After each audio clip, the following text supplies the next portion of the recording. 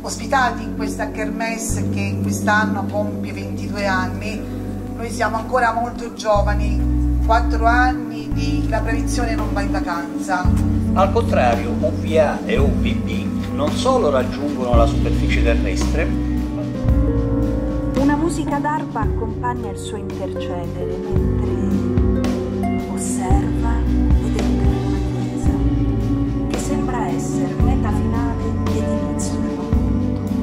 suo. La sua vita ora è a Torino, irriconoscibile, senza italiani.